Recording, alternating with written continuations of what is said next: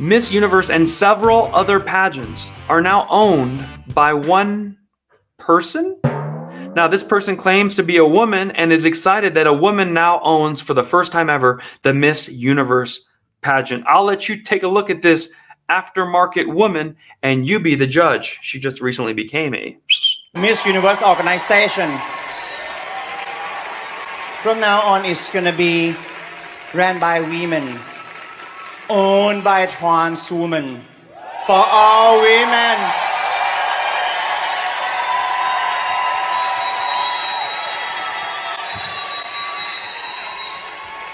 For all women really around the world to celebrate the power of feminism.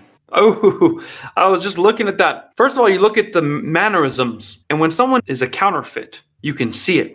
All women. Now, first of all, I don't think she's even from Asia.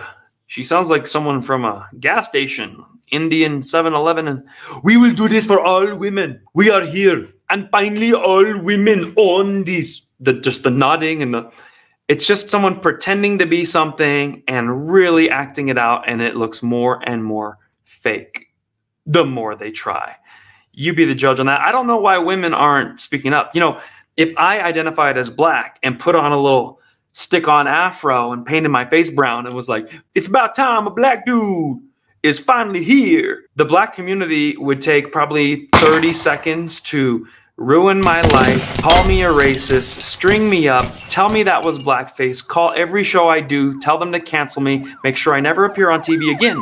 But you women are dropping the ball because here you have a guy who's a woman and now I own the Miss Universe. That is what I do.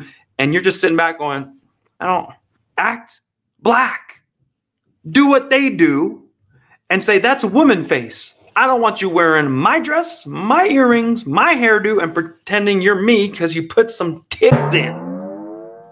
That's up to you, ladies. I guess you have to decide if your lives matter. Speaking of fake boxes, I thought this was very interesting.